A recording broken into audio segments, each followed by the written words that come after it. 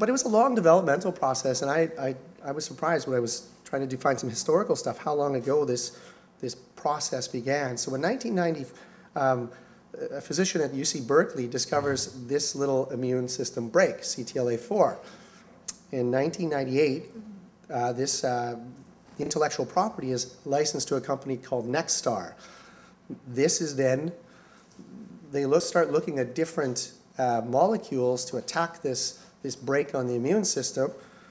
And it's not until, though, a couple of hands are changed that a company named Medarex finally develops ipilimumab. And in 2005, BMS and Medarex joined to commercially develop ipilimumab. So you see that the, the idea was 1990, and um, the implementation has only been actually fairly recently. And the trials are now coming out, obviously, and, and this is where we're reaping the benefits. So again, I, don't want to show a lot of trials, but there are just two really important trials that we have now for ipilimumab. So this is for patients who've already had a line of chemotherapy. And for us in Canada, this is a drug called DTIC.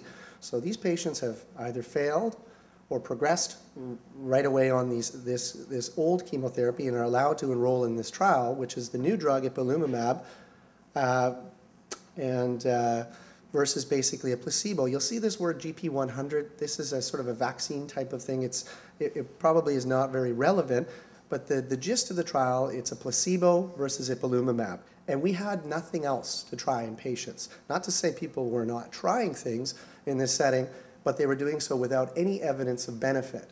Sort of the, you know, reaching into their black cauldron and pulling out some sort of combination, and hence it didn't work very often. So we accrued, patients uh, were accrued from about four years, 13 countries, and you had to have metastatic um, disease, and patients were given um, ipilimumab, uh, four doses, and they were allowed uh, to be reinducted, meaning if the medication worked and it came back, the disease, they were allowed to have the medication again.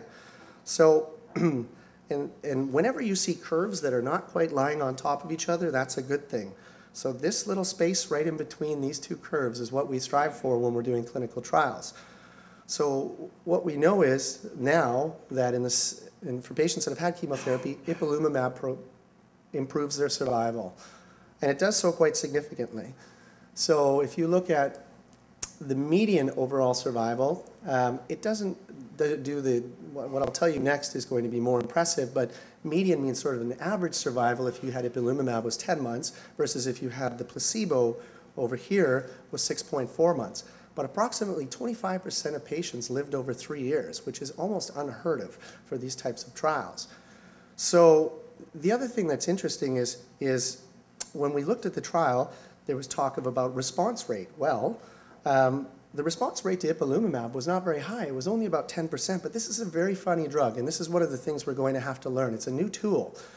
And so this is a CT looking at a patient who has uh, metastatic melanoma exposed to ipilimumab so first of all, after being treated, they start to progress. And then they can start to regress. And then they can continue to regress. We don't see this with chemotherapy. I'll show you another picture. This is someone who, when they started their treatment, um, had the ipilimumab, and they see swelling and progression initially, and then eventual resolution of the lesion. Uh, this does not happen for everyone, but this is one of the reasons why perhaps this drug doesn't look like it causes a lot of responses in patients is because if you biopsy this thing at week 12, it's all immune cells. There's not a lot of cancer left. So because the immune system is rushed to the area and is attacking these things and gives it the appearance of enlarging in size. And, and so again, this is a new tool. Chemotherapy, this doesn't happen. Old-fashioned chemo, you hit it, you whack it, it shrinks or it doesn't. If it grows, it's not working.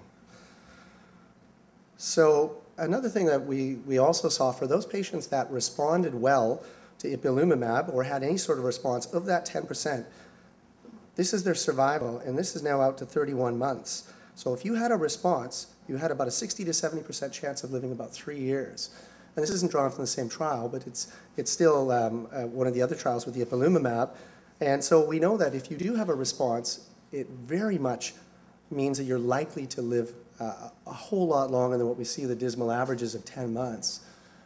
Um, but it's a funny drug again. So the side effects it causes are basically autoimmune. So if you've ever heard of Crohn's or ulcerative colitis, you can get that, essentially, or the equivalent to it with ipilimumab.